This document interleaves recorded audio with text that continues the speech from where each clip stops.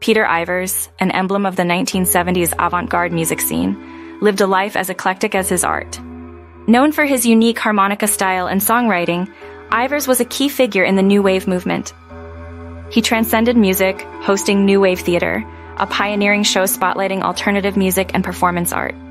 In a tragic twist, Ivers' life was cut short in 1983, found murdered in his Los Angeles loft. His death, characterized by its mysterious and unresolved nature, shook the artistic community.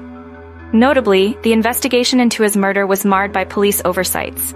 Crucial evidence was mishandled, and potential leads were left unexplored. Among friends, Ivers was known for his spiritual and philosophical depth, contrasting the wild, irreverent persona he displayed on TV.